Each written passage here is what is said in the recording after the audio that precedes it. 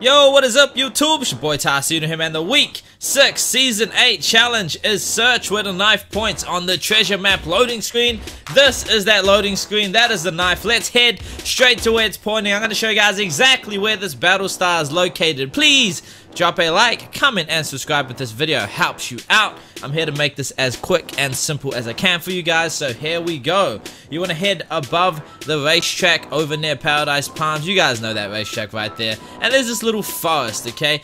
Now in the center of all of these trees, you will find a little patch of dirt, and that is where the star is located for this week's search challenge, okay? So you want to head in between all of these trees, and right there you can see it on top of this little uh, hill.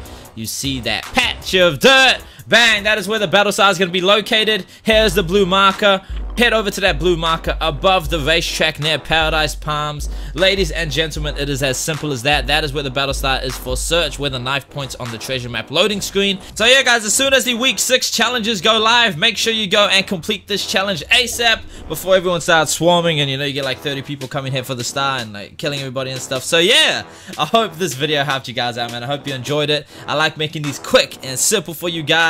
Take care, take it easy, live, love, and laugh. Make sure you check out the other tutorials for my week 6 challenges this week for season 8. I have the 5 highest elevation points or locations and I have visit the wooden rabbit, the stone pig and the metal llama. So make sure you check those out to finish those challenges quick and easy. And yo, I love you guys. Live, love and laugh. You've been watching Tyceno. I will see you guys on the next one. Yeah.